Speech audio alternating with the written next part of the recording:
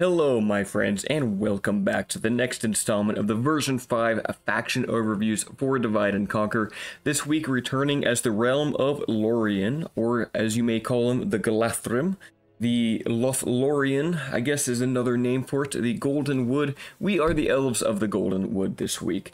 Now, there are only a few more faction overviews left, such as Mordor, Rhûn, Rohan, and the Woodland Realm, and I'm fairly certain it's in that order, and there might be another faction in there, but as I glance at the minimap, I don't think I'm missing anyone else on the list currently. So, we are very close to finishing the version 5 overview videos, at which case afterwards I will be planning to start a new campaign and my current consideration is actually the Kingdom of Dale, because they are getting new unit visuals and a new script. Now, the details on the script, I have zero clue on to what it's about. It's behind closed doors, and it's not something I've actually asked the development team about. So I'm just going to let that one continue to be in development and not bother them while they figure out what's going on with Dale. But that is in the future, probably a month out or so after this video releases.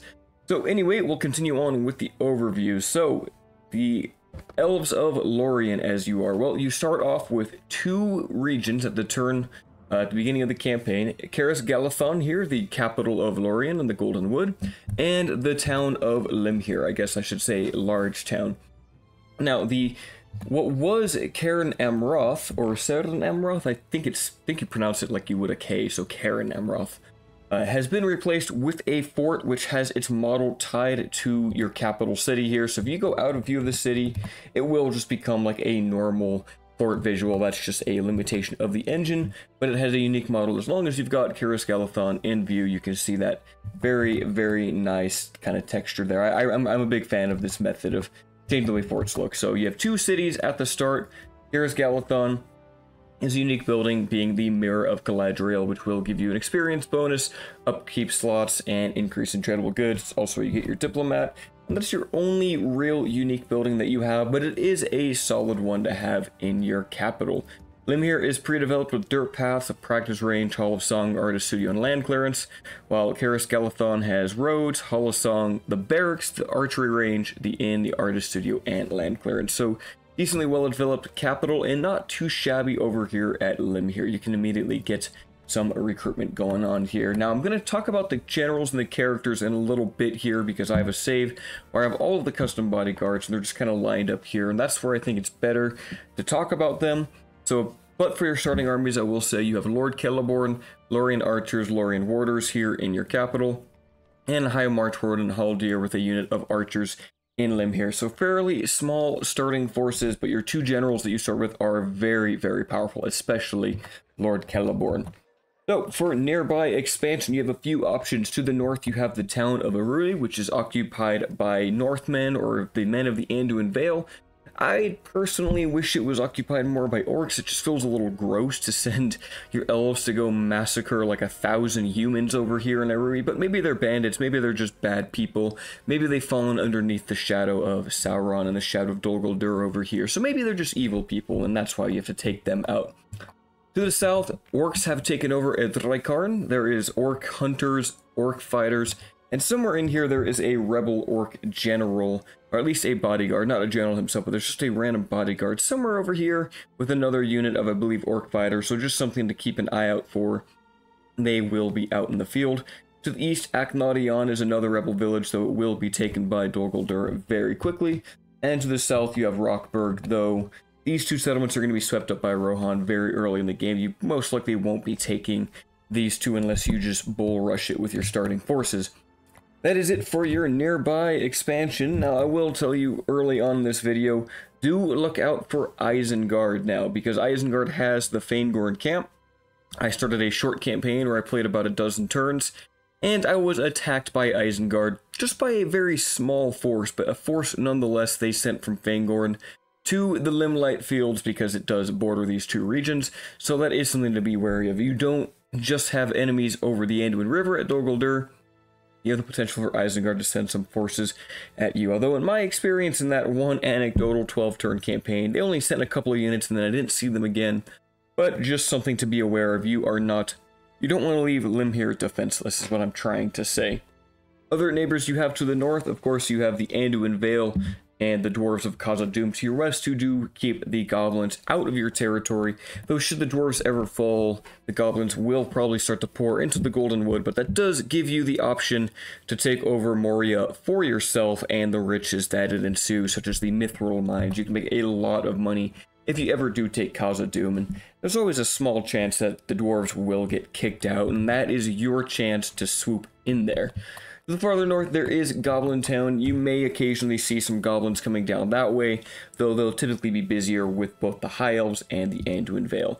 Your chief enemy will be Dol Guldur, but they also have enemies in the Anduin Vale and the Woodland Realm, and even Dale, and even possibly Dorwinion, so you will be fighting Dol Guldur primarily, but they are not going to be solely focused on your faction. So you have a bit of breathing room as the Realm of Lothlorien, so also a very defensive position here. There are only a few crossings into the eastern side here. One is to the south of the river here bordering Caras Galadhon, and the other is to the north. So there are only three entrance points to this region, which are these three bridges. So you can easily defend your um, region, and because you're an elf nation, having very powerful archers and fighting bridge battles is probably the best thing you can do and hope for. I mean, any nation, it's great to have it, but given your sheer range and accuracy with archers, it's a set um, especially powerful for the elves.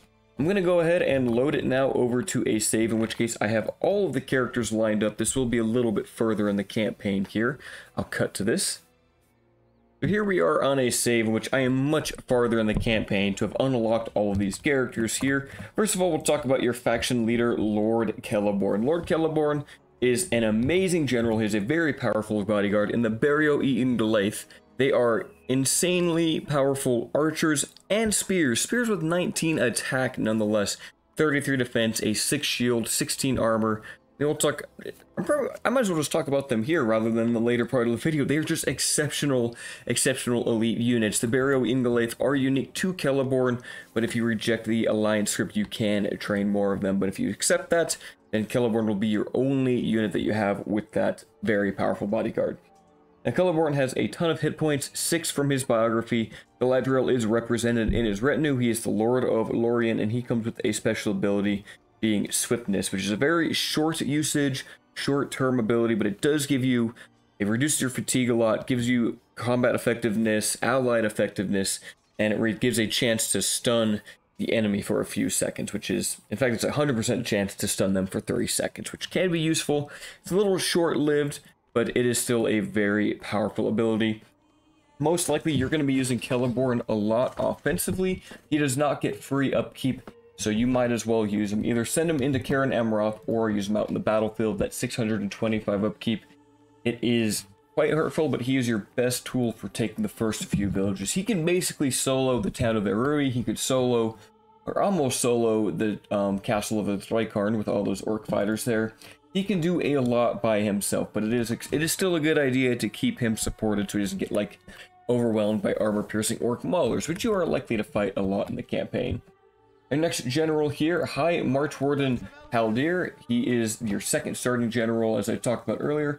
He has the Light of Elbereth, which is quite a powerful special ability as well. When I like a little more, because it does have three charges versus the one on Swiftness. Extra effectiveness and gives you extra morale, though the morale is likely not to be a real factor in your battles, especially if Haldir is leading you. But the extra effectiveness can be useful. He has plenty of hit points himself, and he has Galadrim archers is his bodyguard. They are quite powerful, as you can see their stats here, though they are bloated as he does have 8 chevron points right now, so it's a little higher than it actually is. They also have locked morale, so they can't be broken. So Haldir and Celeborn are going to be key for your early game expansion, taking these other towns while preserving losses so you don't lose too many of your regular tier 1 infantry or archers. Next off, if you are to take 5 regions and it is after turn 10, so 11 and beyond, you will unlock uh, Enpremi, and I don't know where he really comes from. He has a bit of a biography saying that he was an artist. I don't actually know if I don't believe he's like an actual character in the lore. If he's just a divide a conquer uh, creation there. I don't. I tried to look up Enpremi. I didn't see anything, so I didn't do a deep dive or anything. So he might be there somewhere in in the in the you know legendarium. But Enpremi You get him, he does come with a unit of Galadrim swordsmen, so you have both the Galadrim archers, uh, sorry, you pronounce it with a TH, so Galathrim. You have both Galathrim archers and Galathrim swordsmen. He is quite powerful there with 17 attack, just a solid infantry general. And if the incentive is to play mostly defensively, take a few regions, and then you'll get Entremi who can help you attack on the offense. He's very good in melee, good at taking sieges out or fighting Dol Guldur infantry or anyone else you have to fight. The next two generals you will get after having eight regions or also having Dol Guldur. And I forget which one is which. In fact, let me, let's just check this here. There's Orophin and Rumil. So if you get if you hold Dol Guldur and have 30 turns of pass, you will get Rumil. And if 30 turns of pass and you hold 8 or more regions, you get Orophin. So whichever order you do that in, it just needs to be turn 31 or beyond. Both of them have the same general and same ability. They both come with swiftness, and they both have Lothlorien March Wardens as their bodyguard. So not as good defensively, but they are your greatest archers, and you get two of them to help you lead your forces here against the war um, in the east. So now we'll move on to, we'll talk about the buildings real quick before we get into scripts. Having an Elven nation, you have two tiers of stables. The first tier will give you scouts, and the second tier will give you the Heather Bean. For your barracks, you have three levels of that. Tier 1 will give you the Warder, Sentries, and Girthanen. The Tier 2 Guard barracks will add Yavanna's Chosens and Sentinels of Cerin Amroth. And the Tier 3 Army barracks will give you Galathrim Guards and the Galathrim Swordsmen, which are very, very powerful units. Your archery range, Tier 1 will give you Lothlorien Archers. You'll get Girdleg and the March Wardens at the Tier 2 archery range. And at the Marksman's range, you will add Galathrim Archers. And if you reject the Elven Union, this is where you will train Celeborn's bodyguard, the Barrio-E in Galaith. That is it for your military infrastructure. You can get the tier 4 smithing here with the armor, so you don't get crazy high smithing or anything like that. And then everything else is pretty standard. You have two guilds, the Warriors Guild, giving you bladesmiths and master bladesmiths for a extra melee weapon bonus. Good luck getting those in the current iteration of the mod. It's unfortunate that they are quite difficult to attain unless you take an enemy region. And then you also have the dance guilds, which will give you population growth, law, and culture. I don't quite remember what the trigger is for these guilds. I want to say it's probably the entertainment and cultural buildings, but I don't actually know at the moment what the trigger is to get the dance guilds. There was a time when you would just be offered guilds all the time in like version 4.5 or version 4 and before, but in version 5 it is much more difficult. So if you get one, it's a great building but it might be kind of hard to actually achieve. It can be really useful though if you take like Dol Guldur and get offered the dance guild there, as it will help you take care of like law and give you a culture increase bonus. So it can be useful, and you will most likely be offered one of these once you do capture Dol Guldur anyways, depending on how late it is in the campaign and the points that the AI has attributed for their guilds in that settlement. Other unique buildings, I can talk about them here. It is the Sylvan Gathering. The Yavanna's Garden is only available if you reject the Elven Union. Now, it says it gives you 10 recruitment slots. The max is actually 9, so that's misleading. It will give you 3 free upkeep units, extra trade, and then all of these global effects here, though the amplification doesn't appear to really work that well, if at all. But it will give you free upkeep globally and extra recruitment slots. So if you don't have like a Hall of Song in, a, in like a town, you will at least have one base recruitment slot anywhere. This includes villages, though you can't train anything in villages as an elven nation, which is a little bit unfortunate, but the rest of the bonuses are very nice. And finally, you can also get the Ents from this building. Now, you can only build Yavanna's Garden in three places, being Caras Galadhon, uh, sorry, Galathon, I keep catching myself on that, Dol Guldur, and Thranduil's Hall. So those are the only places you can create that building because it is just so, so incredibly powerful, though.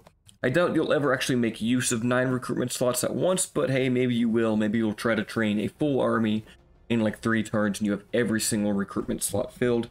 It can be useful, but given the low availability of troops anyway, you'll most likely just be recruiting and waiting for um, replenishment anyway over time. And that is it for the unique buildings. So now we'll talk about the scripts, and for that there is of course the Elven Union, and the one I talked about for your characters here, though that's pretty minor. The Elven Union script will happen at turn 46. You will be given, as long as you are allied to the Woodland Realm, anytime after turn 45, you will receive a message that one of the Woodland Realm diplomats, forget his name, there's a little bit of there's a little bit of story there, a little bit bit of fun stuff you can read. He will ask and say, "Hey, this is very urgent. Uh, there's basically a growing threat. We wish to hold council uh, with the Elves of Lorien." The following turn, you'll be warned that there is an incoming attack by Mordor that will happen in one year, so four turns after that, which should occur on turn 50, and I'll show that army shortly here. In fact, I might as well load that now. You will be asked, do you wish to accept the aid of the Woodland Realm? And if you do, you will pay 3,000 gold coins and be given 4 units of Lorien archers to help you defend your city, or you can reject it and stand on your own. Now, the army that attacks isn't meant to just destroy Caras Galadhon. It's meant to be more of just a swarm battle, but it's not an incredibly powerful army, as you'll see here. So the attack at Ugalot is the Besieger. He has 3,000 orcs under his command, but it is basically just trash. He does have a unit of trolls, orc band, orc raiders, and orc archers. So nothing too powerful. This isn't meant to be like a battle where you are at risk of losing your capital. It's meant to more just be a fun little battle and defensive siege that you'll do at Caras Galadhon, which is a great settlement to defend from. So defeat this army, accept the help, or reject it, it is up to you. Following that battle, you will have to send your diplomat to Thranduil's halls, or vice versa if you were doing the Woodland Realm version, this is basically the same thing. In which case you will be given a decision. If you accept the aid, you will join with the Woodland Realm. You are unionized into one nation, so you will take all of their cities, generals, towns, and all of their units. And if you reject the aid, you will break your alliance. You will not go to war. You will be neutral. And instead, you will be given the opportunity to build the Yavanna's Garden. So I'll go ahead and show the units that you can get when you are allied to the Woodland Realm. So here we are with a save, in which case I have unionized with the Woodland Realm, and as you can see, you get all of their armies, all of their units like I had just said. Additionally, for your recruitment purposes, you will unlock the following units. From the stables, you will get the Woodland Realm Horse Archers, and from your barracks, you will unlock the Elven's King Axe Guard, the Elven King's Gate Guard, and the Mythere Ethawire. So you get four units to kind of plug up some gaps you might say in your roster. So this gives you a decent shielded and sword infantry unit, though around the same strength as the Sentinels. They're actually, are they better than the Sentinels? They are actually significantly better. Eh, they're about the same as the Sentinels, more or less. It gives you extra flavor. You get the two Elven Kings units. You get the Mythere the Wire, giving you a solid infantry armor piercing option. In fact, one of your few armor piercing options. And then you get some horse archers, which you wouldn't get normal. Now, you don't get any of the fancy Woodland Realm archers, though if Legolas is alive, you will have the Henny Dower. And additionally, from Thranduil, he retains his bodyguard as well, so you get the Ered Hireth, as well as any other basic bodyguard that is around. Authoritaire, this Elven's King Gate Guard bodyguard over here, and just whoever else happens to be around with the Woodland Realm at that time. So you get some significant bodyguards and you of course unionize the nations but you don't get the entire roster though any other units the woodland realm have they don't disappear so all these woodland warriors and woodland spearmen and stuff that you don't get to recruit yourself you still have access to and then their barracks will transition to train your units instead so you don't get the full roster but you do get four units and their lands as well and of course i've showed the yavanna's garden so if you take that you get the ents you don't unionize but you can train the Barrio Ingolith from the archery range. So I guess just general campaign strategy and advice I can give before we roll into the unit overview. I would say try to take a Rui and take a Rykard first. Those should be your first two expansion options. Be prepared for the Isengard threat to send some units up to Limhir. Be prepared to defend that. And around that same time or so, then the first 10 rods so turns, you may see Dol Guldur send some forces up into the lower Gladden fields through the crossing here. So be prepared to play a defensive campaign, defending your borders on the west until you have defeated the first few armies that come in. And then once you have a bit of a foothold a good garrison setup and a few extra units, go ahead and start moving in over to Aknod Eon. This would be my next expansion recommendation. Conquer this fort and be prepared to start besieging Dol Guldur. The sooner you can get the citadel itself, the better, as this will cripple Dol Guldur's recruitment capabilities, especially for their more elite units. Now, they will still have plenty of armies left in the deeper Mirkwood bowels, but they will be preoccupied with their other neighbors, the Anduin, the Woodland Realm, and Dale, and potentially even Dorwinion. To be aware of Dor Naurhak over here, this is a predominant castle that Dol will control at turn 2, and they will be sending a lot of units out from this place. They'll be building it up for military, and they will spam, spam, spam your direction. You are elves, your biggest weakness or biggest concern, I would say, is just you have to balance generally a weaker economy out here with expensive troops and limited recruitment. But once you get rolling, as long as you're careful in your battles and you don't take too many casualties, you should do all right. I can't stress this enough. Use your generals to the best of your ability. Use Haldir, use Celeborn. Once you get and Premi, use him as well. Use them predominantly to take the damage, do most of the fighting, and save your other units until they're absolutely necessary for them to engage. You can skirmish very effectively with elven archers as they can outrun anything that the goblins have or that the orcs will throw your way. Your biggest safety concern, I would say, your biggest threat in battles is going to be wargs. So you're going to want to have spearmen ready to fight the wargs, ideally in a shield wall so they don't take a big amount of damage on the charge. If you don't have that option, you have enough movement speed with your units that you can run the opposite direction, run away from a charging warg pack, and they basically their charge will get interrupted. They might get a couple of kills, but it's much better than having them run full charge into your entire like archer line or your swordsman line. You don't want that happening. So just be careful of the wargs, try to take them down if you can, and skirmish to the best of your abilities, and you shouldn't really have too many issues. In terms of difficulty, I wouldn't say Lothlorien is too difficult. Granted, my current campaign, I'm only like a dozen turns in. Your biggest threat would be if the goblins do take over and push into your land, and Isengard decides they want to focus you, and Dol Guldur decides to focus you, things could be difficult. Um, but if that doesn't happen, you should be okay.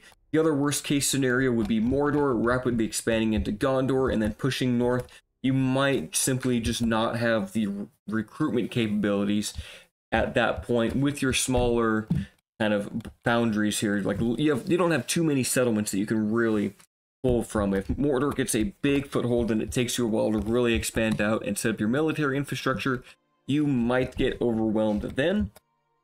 But you have a roster that is very defensive and very well set for massacring orcs, especially with your elite archers. And Celeborn is just an absolute world beater. He is incredibly, incredibly powerful. So use your bodyguards well. One last tip I would say, grab the stables pretty much as soon as you can. You're going to want to get some Lorien scouts out. They're going to help you a lot with both just chasing down enemies easier, running into Dol Guldur archers, doing hammer and anvils, they're going to be a great unit, and you're going to want to recruit those very, very quick in your campaign. Just help you fight and mop up the enemy just that little bit quicker. So now we'll go ahead and switch it over to the battle map. And welcome to the battle map. So we're going to do things in a different order this time. We'll talk about the archers because the general's bodyguard is an archer unit himself, followed by the infantry and then the cavalry. So starting off with your general's bodyguard, the default is going to be the Elbereth's Sentinels, 38 man strong or elf strong bodyguard, 11 melee, 11 missile, so tied there in utility, with 28 defense, though all that defense is armor and defense skill. They don't really have any defense against armor piercing missiles, so be wary of the goblin javelin man that Dol can throw at you. They could do some damage to this bodyguard, but they should be alright. I mean, 15 armor is still a ton. Locked morale, so they will not be broken. Exceptional accuracy, 210 meter range with 32 arrows. Don't expect them to have the same damage output as some of your other archers, just due to the limited number of elves in the unit. But they are still quite powerful in their own regard. A very, I'd say, balanced but powerful bodyguard. And sometimes I like I just like how you can have an infantry bodyguard, small and elite, and that's really what a bodyguard should be at the end of the day.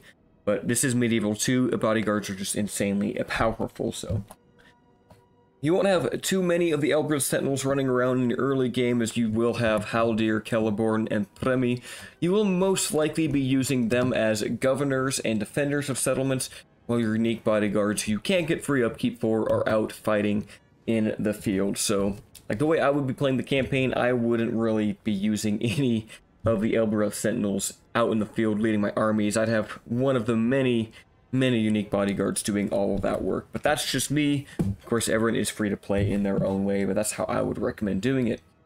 So, for your tier 1 archery range, you have the Lorien Archers. 5 melee, 6 missile attack, and 10 total defense. 3 charge isn't terrible, um, but do keep in mind these are your weakest in terms of melee for anything in your roster. The Lorien Archers are the weakest there. They actually are stated to have low accuracy, but that is low for elves, which is different than low for, say, humans or low for orcs. Like, this is much better than low for humans. It's probably like average or high for a human unit. Um, but I think they might even be the only elven like unit where it actually just specifically says low accuracy. 180 meter range, 20 missiles. They are basically more or less militia archers, um, at least to the elven standard. Do notice the gray cloaks the silver. You'll see that a lot in the Lorien roster. And that is because the Mallorn trees, their bark is actually silver. So the gray cloaks, silver cloaks help them to blend in in their environment. So that explains the silver and gray color schemes that the uh, elves of the Galathrim use. Besides the higher tiers, which get into like very ornate kind of plate armor, whatever whatever you might call it, scale plate. But Lorien archers Best used in a loose formation, skirmishing with the enemy. Focus firing on things like orc maulers or orc archers or wargs if you see them. Just keep them at range since they don't have too much defense against archers themselves at only 4. They're actually decent in melee, I guess you could say. 6 defense skill is pretty solid. But against enemy missiles, they will die relatively fast, and obviously don't let them get charged by a warg archer. Note that very high movement speed modifier 114%. They are very swift on the battlefield. Now, for the next two units in the archery range at tier 2, you get two specialists being the March Wardens and the Gervaleg. Actually, I had to quickly test and see exactly how the Gervaleg works because I had forgotten their specialty. So the Gervaleg, 11 melee, 14 missile attack, 11 total defense, You'll notice they have a very short range, 70 meter range with only four missiles that they are AP, but let me tell you, that 4 is actually 12. Each archer will fire 3 shots at once, meaning they are excellent, excellent assassins, though they only have a few shots that they can run through. But then they're okay in melee afterwards. So it's a bit high fantasy, shooting 3 arrows at once, but they are quite quite powerful. The damage that they can do, they are troll killers, they are heavy infantry killers, they are cavalry killers, bodyguard killers. Use them to do close range sniping. Basically imagine what javelins would do, but then triple the amount of missiles that you're throwing at once. That is the Gervaleg. They can do a ton of damage, but they are a higher risk, high reward unit as you have to get so close to the enemy. You risk getting shot at by their archers on the approach, but for the sheer damage you can do um, at short range, it is worth it. They can also hide anywhere, so you might want to throw them out in the flanks of your battlefield somewhere, turn them off of fire at will, let them hide for a second, and then after the lines have met, run them in once the enemy is occupied, and just watch the carnage that they can do. Now, they're arguably not as powerful as, say, the Henny Dower of the Woodland Realm, who can absolutely just destroy entire armies with ease with their body piercing magic arrows, more or less, but the Gervaleg are still quite powerful archer assassins, and you do get them from your tier 2 range, so they are decently readily available. Your next unit here, let me move the archers out of the way. The Lothlorien March Warden. Same kind of thing going on. They can hide anywhere that they want. The Lothlorien March Wardens, 9 melee, 8 missile attack, 14 defense. They do have a shield, which helps. Their bonus is that they have exceptional accuracy, 230 meter range, and 34 arrows. They are your Elven Ranger unit for the Realm of Lorien, and they are deadly accurate at range. Not as good in melee as some of your other elite units or even your other archers, but they make up for it by being deadly accurate at range. Even if they do get caught in ranged combat with the enemy, that shield value will help them to survive. And again, you will get two bodyguards of the Lothlorien March Wardens simply by getting Orophin uh, and Rumil, or is that his name, Rumil? Rumil and Orophin? Yeah, I think that's the right names. I could be, could be mistaken. I believe that's correct. So after you have like 8 regions and 30 turns have passed, or you've taken Dol Guldur and 30 turns have passed, you will get two generals with these guys as bodyguards, and they are just going to do tons of damage from long range.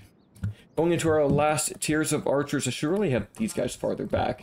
The Galadrim archers, 11 melee, 10 missile attack with 22 defense, 15 of that being armor. They are locked, very high accuracy, 220 meter range, almost as good at archery as the Lothlorien March Wardens. In fact, they actually have a higher missile attack, but they aren't quite as accurate, nor do they have the same amount of range. In fact, there's probably an argument to say that they are better just because that plus two attack is very useful on bows. Galadrim Archers, just an excellent unit. In your late game campaigns, you'll probably have full armies of just the Galadrim units, and having lines of Galadrim Archers, you will just do so much damage to the enemy, and it is such a powerful late game army. I love late game Elven armies, it just takes so long to be able to get to that point to have these crazy, crazy powerful, powerful armies. But the Galadrim Archers are just a very welcome part of the roster. Lastly, the Barrio E. Ingalaith, we talked about these for Celeborn's bodyguard. 16 melee attack base, 10 missile, 33 total defense. Same archery stats as the Galadrim archers or Galadrim archers, but they are significantly stronger in melee, and they have a 6 shield bonus, higher defense skill, slightly better armor. They are absolute tanks as well as damage dealers. And for spears, that is a very, very high missile attack and very high melee attack. They are very powerful, and they definitely live up to their name as protectors of the forest, or no, protectors of the trees, as it specifies there in their description. And for all these fancy elven names, if you go to the bottom, you will find the pronunciation. So Berio Ungalaith, I guess you say Eungalaith. So that's how you would say their name, or as I've been saying it, the Berio Ungalaith. E it, fancy stuff that isn't meant to be part of the English language, really. that is it for your archers, so now we'll talk about the melee units. So first of all, do these two combined. The Lorien Sentries and the Lorien Warders. These guys are more or less the same here. Your simple shield and sword or shield and spear unit. The warders have one more defense skill, but one less attack than the sentries do. So that's their difference there. I'd say in general, the warders are going to be more useful. Having higher defense and having a unit that can stand up to wargs, you're going to want them. Uh, but the sentries aren't too bad in melee either. They'll get plenty of kills. And do note they are very fast with that 114% movement speed modifier. Now, the spears, they do have shield wall, which is another benefit to fighting against cavalry or pushing into enemy formations, while the sentries do not. So Fighting wargs, that's my biggest recommendation. Have the warders for the wargs, have the sentries for orc maulers or orc band, anything else like that. Use even for orc bodyguards, they'll do okay against them. Mirkwood bodyguards will outclass them, but for the most part, I would say try to get warders more often than you can get sentries until you've dealt with the cavalry threats that Dol has. Next off, we'll talk about the Gurthanen. So just like the Gurvaleg are the Great Death, the Gurthanen or Gurthanen are the Silent Death. These guys have 12 attack, not armor piercing, 14 defense with an 8 charge. They frighten nearby enemy infantry, and that is their strong point. Use them, hide them around, use them to flank into the enemy, and they will help you rout off those low morale goblins even in front combat, these guys are pretty pretty combat effective. I like to use them against orc maulers myself because they have that very high defense skill where they don't really necessarily have to worry about the armor piercing bonus that the orc maulers have. They make for excellent infantry blenders, especially in the early stages of the campaign. I mean, 12 attack is very significant. Frightening the enemy infantry is also a very, very powerful trait. If you have these guys going head to head with some like Mirkwood Uruks or um, orc maulers and you then flank with your cavalry, nine times out of ten that unit is going to rout unless they have like a Nazgul general or another very high command orc general in their lines. They are great for getting those orcs to run away earlier in combat than later. So I'm a big fan of the Gurthanen, and they only have 40 more upkeep per turn than say the Sentries. They do come at a higher recruitment cost, but for basically the same defensive stats, you get so much more attack and so much more utility out of these guys. Definitely get them as often as you can. And they have these cool like two-handed glaives. I love that type of uh, weaponry. I just think it's it's very cool. It's high fantasy, but I love that so much, especially the Mirkwood version. So next off, going into the tier 2, first of all, the Sentinels of Cerin Amroth. These are upgrades to the Lorien Sentries, going up to 11 attack, 6 charge, and 22 defense. Overall just a very very solid shield and or i guess board and so, sword and board i should say. That's the correct term. Sorry guys i'm all over the place lately. I i speak before i think.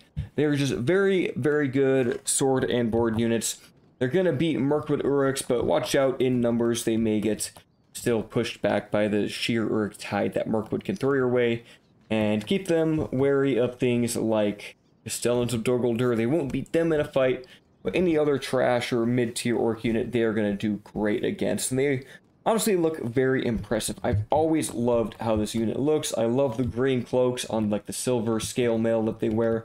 And I really like the kite shield that they use. Just a personal... I'm just a personal fan of these guys in the roster. I love them playing a Woodland Realm campaign. I love recruiting these guys during the Elven Union.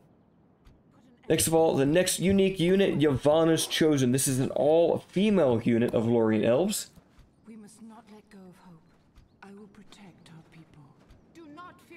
And do notice that they have elven voice lines there. I do have my volume turned down pretty low. They are halberds and they are good at their job. 9 attack, 5 charge. First being halberds, good against both mounts and armor with 19 defense. 9 of that being armor, 10 of that being defense skill. They're just a fantastic unit. You're going to want to recruit these guys when you can. Things like Khamûl Shadow Knights or Castellans, they're going to do well against. Mirkwood Uruks, Mirkwood uh, do they have a halberd version? No, I think just Mordor does, but Dol Guldur gets like heavy Uruk infantry and Uruk spears. Yavanna's Chosen are going to hard counter those, especially the spears. I've noticed halberds in general are just very effective against spear units because spears typically have lower attack sets anyway. Halberds just seem to always be a good counter to spears in melee, more so than I would say like two other two-handed units or like sword and shield units. It just seems like anecdotally I find halberds very effective in that role. So Another just great unit to have, very elite. Going into our last two units, we'll talk about the Galadrim Guards first. More or less the upgrade to the Yavanna's Chosen. Going up to 10 attack, 26 defense. Halberts, they are locked, so they will not rout. Just a direct upgrade, and I feel like I talk about what you can do with the light troops, and then I go into the next tier. It's just like, here's that same unit style, just better. And that's really what we're coming down to here. Yavanna's chosen, but better. These guys are going to easily take down things like Trolls, Olog-hai. They'll probably beat Great Beasts. They'll, they might even do okay against Mumakil if you have to fight them at some point in your campaign. Just excellent, excellent halberds. And another unit type I'm a big fan of, Elven Two-Handed Swordsman, the Galadrim Swordsman. 15 attack, 9 charge, 24 defense. Great in the front line, great doing shock damage. Just keep them away from things like, you know, elephant type units, keep them away from heavy cavalry charging into them, and they'll be just fine. Their only other weakness might be armor-piercing javelins or Isengard crossbows. Those will counter these guys at range, but in melee, they are absolute blenders. I love two-handed sword units, and the Galadrim swordsmen are no exception. So the last unit I will talk about for the infantry corps, even though they're more monstrous than anything, are the Ents. So you do get Ents as the Woodland Realm and as the Realm of Lothlorien. Ents have 45 attack, 15 charge, 41 defense, and 7 hit points. Skilled against mounts, they are excellent cavalry killers. I love using them in that role. They just say they have a movement speed of 70%, but that is misleading. They are actually quite swift on the battlefield, and they will fight to the death. And you'll only get these if you build Yavanna's Garden, and I believe you can also get them in Isengard regardless of the choice. But if you do the Elven standalone, you can recruit them in the Yavanna's Garden, and I'm still like 90% sure you get them in Isengard just by occupying it. I could be mistaken, but that's how I was when I did my Woodland Realm campaign, and that was version 5 as well, so it should still be the same. Should be the same thing going on there. So Ents just overall very powerful. They're like trolls. They can just run through lines. They break through them. Send them onto elite. Send them to kill generals. Send them against Khamûl. If you ever fight Khamûl and you have Ents that late in the campaign, they're going to destroy his bodyguard. His Shadow Knights are going to get absolutely wrecked by Ents. They, like, they're just secretly heavy cavalry killers. Like, because in, against infantry, they can only hit one model at a time, so you want them to be fighting the elite of the elite. So that's what I'll say about the ants. And lastly, we'll get to our cavalry. This will be a quick section here. Lorien Scouts, not the best cavalry unit, more like your militia. 6 attack, 4 charge, and 13 defense. So basically the same as your Lorien Sentries, just lower defense skill. Uh, but they do have the bonus of being cavalry, so just in general, cavalry very powerful. Keep them away from spears, and they'll do okay. They're not the best at charging. They are meant to be in melee. Send them against things like Dol Guldur archers or Isengard archers, send them to flank, but don't send them against wargs. They will not do good against wargs or other cavalry at all. They have no bonus against those units, so keep them away. The last unit is the Heather Bin. These guys are not so much lancers as they are spear cavalry, but they do have a high charge of 9 with 18 defense and 8 attack. I guess I could say they would be lancers, actually. They just have interesting kind of almost like Naginata pole arms here rather than proper lances. They don't have a bonus against horses or anything themselves, so again, keep them away from wargs in, you know, one-on-one combat. If you're gonna fight wargs with them or other cavalry, try to do like a hammer and anvil strike on them. They do have a cool name, Mist Knights. I didn't know about that, but Mist Knights, that is pretty cool in my opinion. But I would say in general, your weakness as the Realm of Lothlorien is your cavalry. You don't particularly have strong cavalry and only two units, but still, in Medieval 2, cavalry is just so, so, so important to have. It will help you win so many battles that would otherwise be impossible. Even if you just have one unit to chase down routing enemy units, keeping them away from coming back is essential to winning battles. So I'll go ahead and deploy my formation here in melee because we are going to fight our enemy who is, I'm just going to say who it is. It is going to be Mordor. So let's get these guys over there. Archers, where are you guys? I want Elbreth Sentinels there. Lothlorien Archers, let's just kind of spread everyone out. Gervaleg will use you because you're very fun. Get the two cavalry together, and I'm not going to stress too much about our formation, but we should just do that. And yeah, that should be fine. Let's just grab all of our infantry, grab all of our archers, and start the battle. So it looks like Mordor is going to deploy on the hill. I've given them an army that I am fairly certain I will actually be able to beat as I controlled it myself. We're going to see Black Uruk's Temple Wards. We got some Temple Knights out on the flank. Black Uruk Halberds. More Black Uruk Halberds. Temple marksmen in the front lines doing some skirmishing, a few trolls, great beasts in the back, and I had to give them Sauron himself.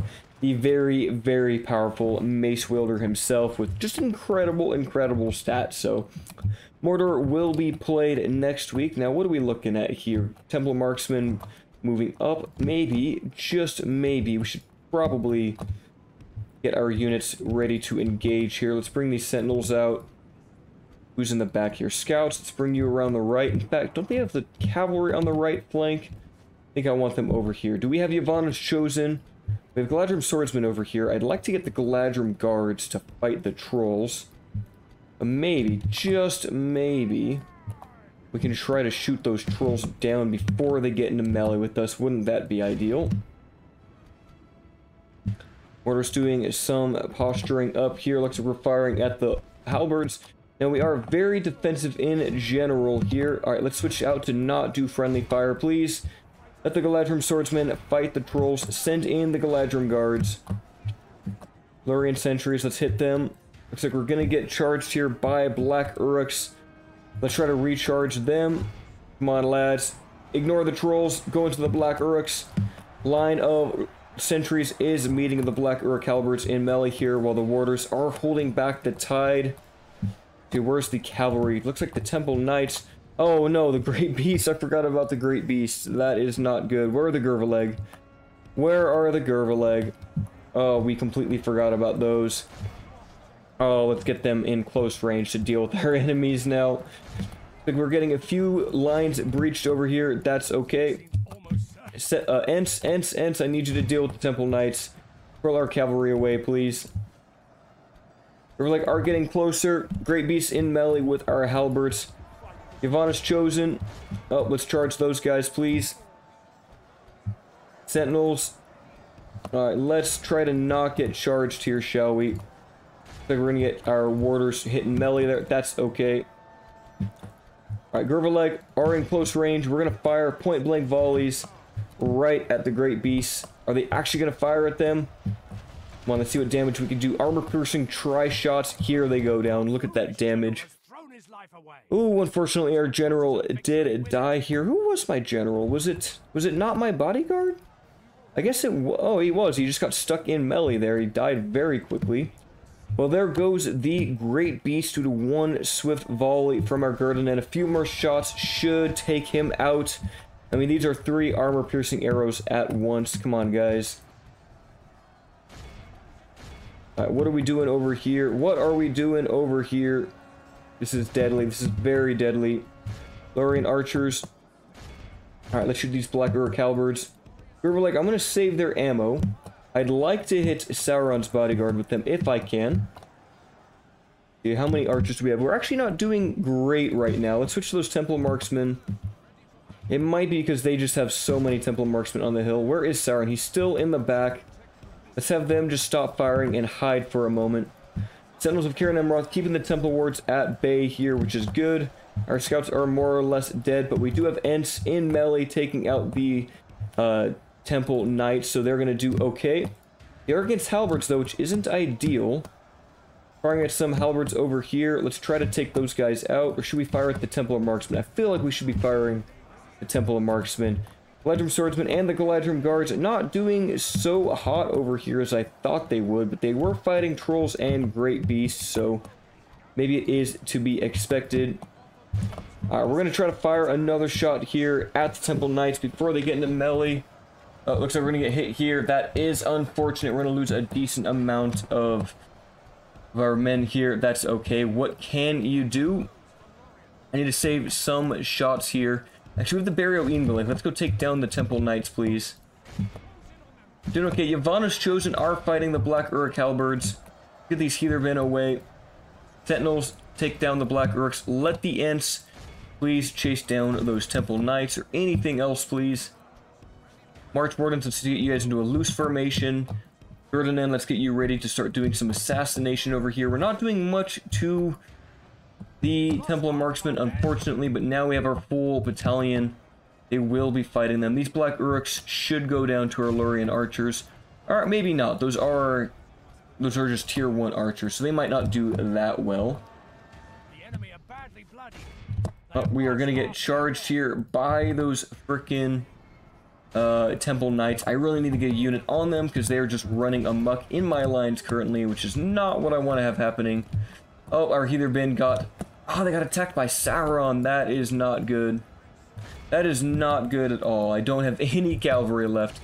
Come on, let's try to avoid that. Let's try to hit those Temple Knights. I only have 10 cavalry left to use. That is actually quite bad. Okay, we still have a decent amount of units fighting these Orc Raiders here. I think the 20 Galadrim Guards shouldn't have an issue dealing with them. Let's keep on chasing. I think we're going to route off these Black Uruk Halberds. Let's go after these Temple Wards. Actually, no, we should finish off the Temple Knights. Looks like our 20 Swordsmen did beat the Orc Raiders here. I'm to start chasing down the enemy. Don't let them... Don't let them come back into the fight. We're to need everyone here. Where are Gervaleg? I need them to start doing assassination. Jeez, those two freaking Temple Knights just running amok through our lines. Come on, Ents, take out that last one, please. There's only one left. Come on.